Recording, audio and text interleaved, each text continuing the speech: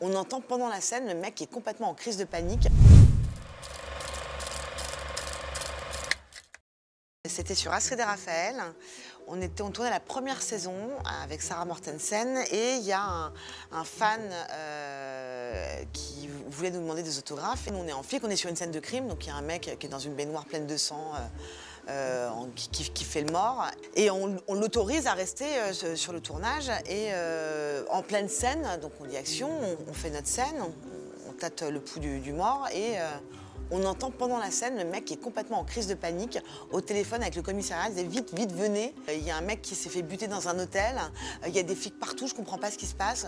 Donc il n'arrivait pas à, euh, comprendre que c'était un tournage, mais en même temps, il était venu pour nous voir. C'était très, très, très étrange. Les flics sont venus quand même sur le, tournage. Puis ils ont vu que c'était en fait du faux sang, euh, des faux flics. euh, voilà, un tournage quoi.